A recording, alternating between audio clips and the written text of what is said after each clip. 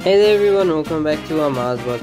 In today's video I'll be showing you guys how you can download and install the latest version of the Codex Executor on your Android device without the need for any root or a PC. So guys this is a very simple, cool and easy method and today I'm going to be showing you guys how simple it actually is. So guys, before we continue guys, please do leave a like and subscribe as we're getting closer to 8,000 subscribers and we really appreciate it if we can hit that milestone pretty soon. Anyways guys, uh, yeah, let's get into today's video. So guys, simply open the link in the description it will be this file right here. Now simply download it right here and then download anyway.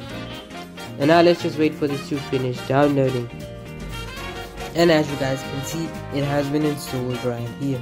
If you have any uh, other version of uh, Roblox simply go ahead and delete it right here. And uh, now we can go back.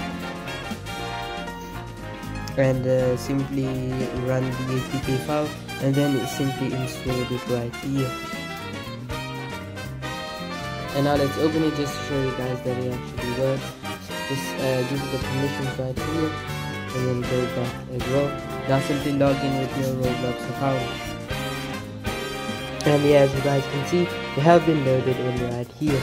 Now I'm simply run any game. I'm just to grow a garden right here. Just to show you guys that the prompt actually loads in and that it actually works. Also guys, if you made it this far, just subscribe already guys. Please, I really want to hit 8,000 subscribers before the end of September if possible.